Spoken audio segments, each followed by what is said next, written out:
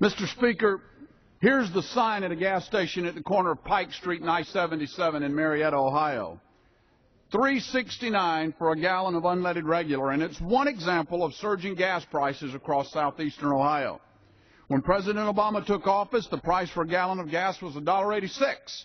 It has now doubled, and some estimate that it will be around five bucks by this summer. This is just one indicator that President Obama's energy policies have failed America and are continuing to make our economy worse. He says that he wants an all-the-above approach to energy, but his actions do right the opposite. In fact, President Obama cut oil production on federal lands by 11% last year, and he blocked the Keystone XL pipeline. We can't afford President Obama's destructive energy policies anymore. Not only will increased energy production lower the price at the gas pump, but it will create much needed jobs now. Hardworking Americans need both, not more of the same from President Obama. And with that,